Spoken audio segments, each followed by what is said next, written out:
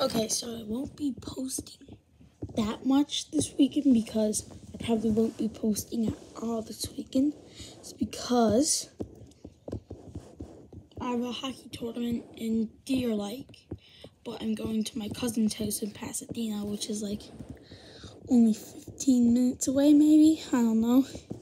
And I'm currently downstairs where my Oculus is. The reason why it has like all those rings is because it's like a battery pack. I'm gonna have fun playing against my cousin in this tournament.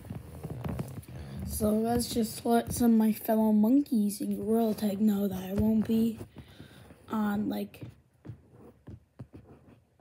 the dude that I played with a few days ago when I said I'd bring this back.